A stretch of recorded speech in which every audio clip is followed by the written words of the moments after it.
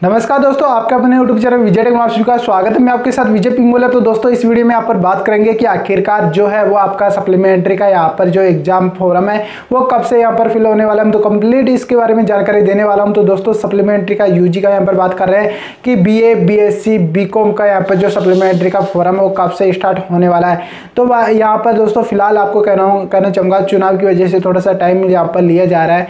लेकिन अब जो यहाँ पर चुनाव के लिए अभी यहाँ पर आपको पता ही, आचार संहिता लगी हुई है तो आपका सत्ताईस से अट्ठाईस तक आचार संहिता लागू रहेगी। फ़िलहाल आप बात करते हैं सप्लीमेंट्री का, जो है वो फॉर्म कब से स्टार्ट होंगे तो सप्लीमेंट्री के फॉर्म दोस्तों मैं आपको कहूँ तो सप्लीमेंट्री का फॉर्म आपको यहाँ पर देखने को मिलेगा दस सेप्टेम्बर बाद में।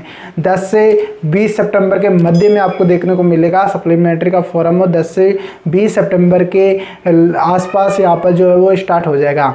तो दोस्तों, अब ऐसे तो नहीं है कि आपको 10 सितंबर से पहले मिलेगा, आपको नहीं मिलेगा। इससे पहले आपको फॉर्म फिल करने का मौका नहीं मिलेगा। स्टार्ट होगा वो लगभग 10 सितंबर बाद में स्टार्ट होगा।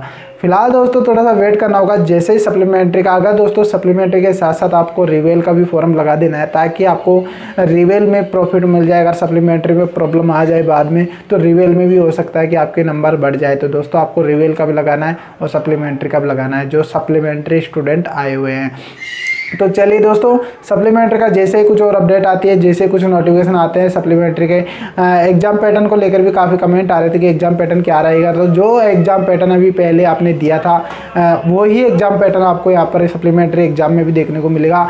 और बात करें कि एग्ज़ाम फॉरम तो एग्ज़ाम फॉरम में एक ये भी आ रहा है कि फ़ीस क्या लगने वाली है। तो फ़ीस यहाँ पर मैं आपको बता दूँ फ़ीस जो आपने एग्ज़ाम फॉरम फिल किया था, उस टाइम पर आपने दो हज़ार रुपये लगे या तीन हज़ार रुपये नॉन नॉन किया होगा। तो साढ़े तीन हज़ार रुपये लगे तो वही फ़ीस लगभग उसी के आसपास जो है वो सप्लीमेंट्री में एक सब्जेक्ट के लिए जाएँगे। एक सब्जेक्ट का सप्लीमेंट्री का वो है, वो चार्जेज आपको वही देखने को मिलेगा जो आपने पहले फिल किया था उस टाइम पर लगभग उसी के आसपास देखने को मिलेगा, इर्द गिर्द। तो फ़िलहाल दोस्तों, जो इन्फॉर्मेशन मैंने बता दिया है आई होप आपको वीडियो बहुत ही अच्छा लगा होगा।